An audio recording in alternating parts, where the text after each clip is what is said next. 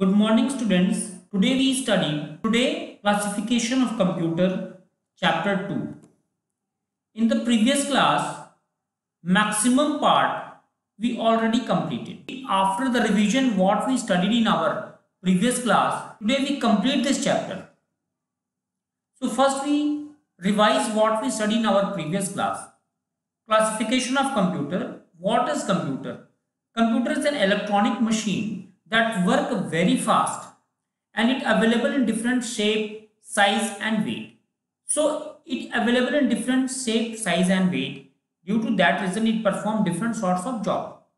अलग अलग तरीके से ये कंप्लीट अपने काम को कंप्लीट करता है and basically the computer are classified into two ways दो प्रकार what is analog computer analog computer के बारे में हम लोगों ने पढ़ा था basically it give approximate result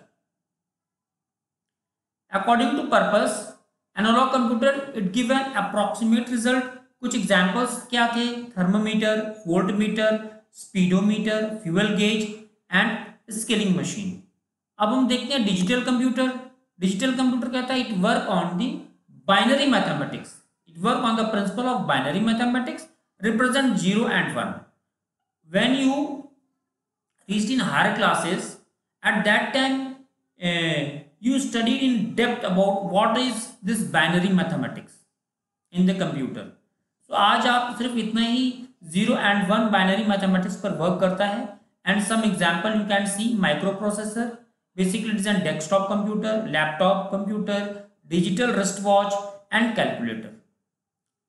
and next hybrid computer hybrid computers hybrid computer what is it is a combination of both analog and digital analog और digital computer का कॉम्बिनेशन हाइब्रिड कंप्यूटर बनाया है। इस एग्जांपल है ECG machine ECG machine and weather forecasting now let's see the according to size according to size में हमने क्या देखा था? सुपर कंप्यूटर बहुत बड़ा है, बहुत पावरफुल है, बहुत एक्सपेंसिव है और बहुत सारे कॉम्प्लेक्स कैलकुलेशन को बहुत स्पीड में कर लेता है। और एक्चुअली बहुत बड़े ऑर्गेनाइजेशन में यूज़ होता है और वन ट्रिलियन डाटा को ये प्रोसेस करता है और बेसिकली यूज़ होता है वेदर फोरकास्टिंग में न्यूक्लियर पावर स्टेशन में military simulation research laboratories and animation movies mainframe computer mainframe computer क्या है ये? लार्ज कंप्यूटर लार्ज और पावरफुल ये भी है एक्सपेंसिव ये भी है but less than supercomputer and ये basically government and business large business government and ये basically large business houses and government centre में यूज़ होता है। और supercomputer one trillion data process करता था। अभी ये तकरीबन million data process million data instructions per second process कर रहा है। It is mostly use in scientific research and doing bulk mathematic operation let's see mini computer mini computer क्या है? It's an less than mainframe computer mini computer क्या है? नाम ही mini है तो मेन फ्रेम कंप्यूटर से लेस था basically lesser memory and storage comparing the main frame so it is an also called a workstation. It is look like a refrigerator, basically maximum use in this bank. Microcomputer. Microcomputer is also called a personal computer. The most important part of the microcomputer is microprocessor and is also called it a brain. Some peripheral means part of the computer. जो keyboard, mouse and monitor are also a part of the computer system. it is basically used creating document and keeping records. So today let's start today's class from microcomputer This desktop computer and notebook computer are a type of a microcomputer. Desktop computer and notebook computer क्या है? Type of micro computer first हम desktop computer की बात करते हैं। See the image of desktop computer इसको ध्यान से देखिए, इसके अंदर क्या क्या है? कीबोर्ड है माउस है सेंट्रल प्रोसेसिंग यूनिट है and desktop desktop computer is an computer is a computer made for use and desk in school home and office ये बेसिकली ये डेस्कटॉप कंप्यूटर आपने देखा होगा डेस्क के ऊपर रखा मिलता है टेबल के ऊपर रखा मिलता है। यूज़ कहाँ होता है? होम में होता है स्कूल में होता है ऑफ़िस में होता है। A desktop computer is design in such a way that system unit input device output devices and all other devices fit entirely on a desktop और अ टेबल ये जो डेस्कटॉप कंप्यूटर है, इसके अंदर आप देखना input device input device output device तो आपको मैं थोड़ा सा बताऊँगा what is input device and what is output device make you clear the concept input device देखिए आपका कीबोर्ड एंड माउस ये दोनों इनपुट डिवाइस हैं जो इनको इनपुट दे रहे हैं।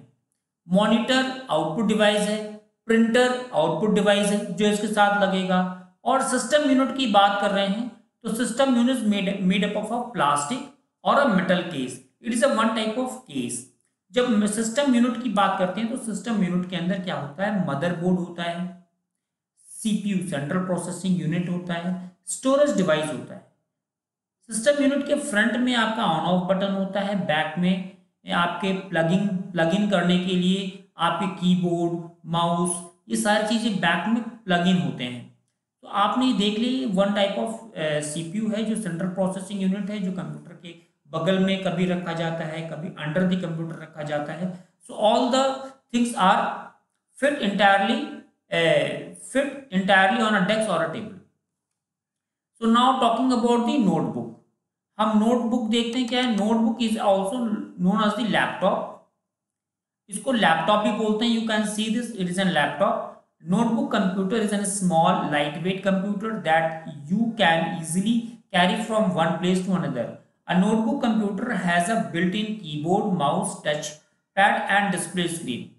ये जो लैपटॉप कंप्यूटर है इसको नोटबुक कंप्यूटर भी बोलते हैं और ये लाइट वेट होता है बहुत इजीली आप किसी हाथ में लेकर के कहीं भी ले जा सकते हैं एक रूम से दूसरे रूम में एक ऑफ़िस से दूसरे ऑफ़िस में एक जगह से दूसरे जगह पर आसानी से आप इसको कैरी कर सकते हैं और इसके अंदर आपको जैसे डेस्कटॉप कंप्यूटर हमने देखा था, सारी चीज़ें अलग से थी।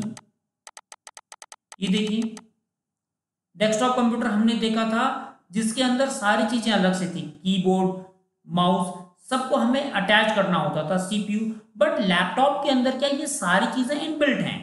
आपका कीबोर्ड इसके अंदर इनबिल्ट है माउस टच पैड इनबिल्ट है सेंट्रल प्रोसेसिंग यूनिट इनबिल्ट है। सो नोटबुक में सारी चीज़ें इनबिल्ट हैं।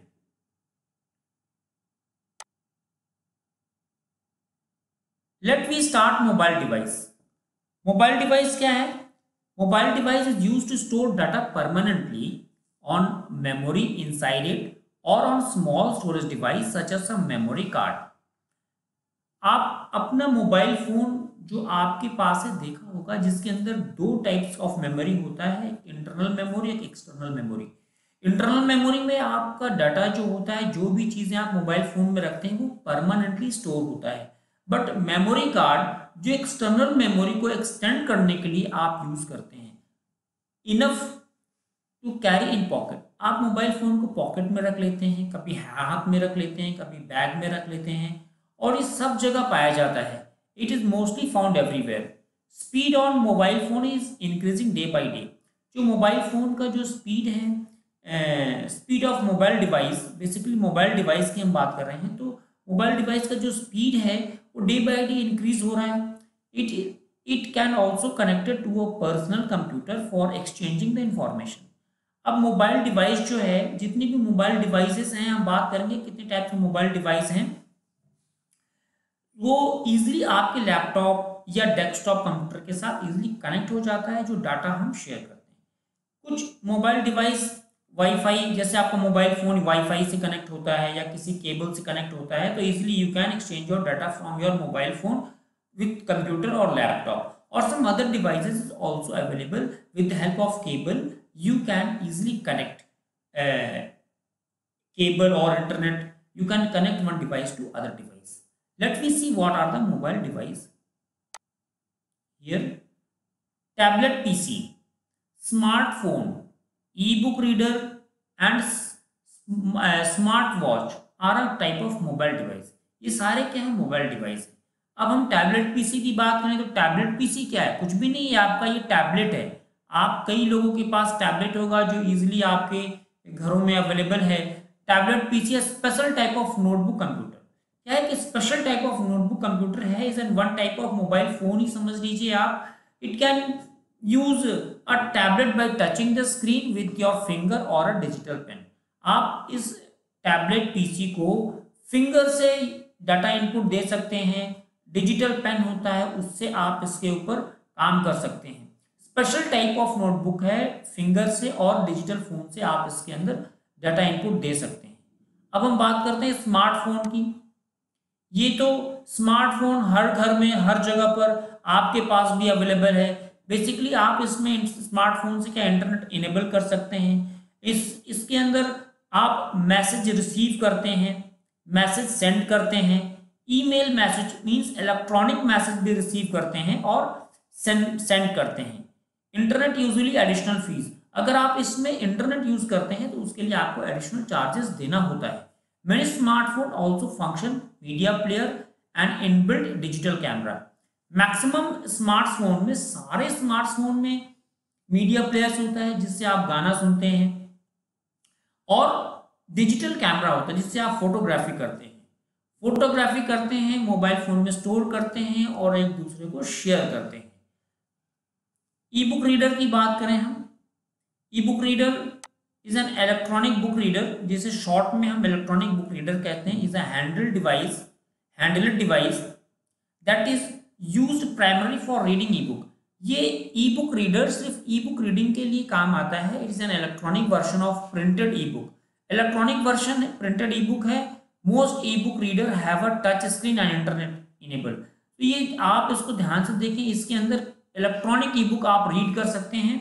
जो बुक्स इसके अंदर अवेलेबल होगी, आप आसानी से पढ़ सकते हैं, इससे इंटरनेट पे कनेक्ट कर सकते हैं और इंटरनेट पे कनेक्ट कर सकते हैं, टच स्क्रीन पैड होता है, जिससे इजीली से आप डाउन कर सकते हैं आपके मोबाइल फ़ोन की तरह ही।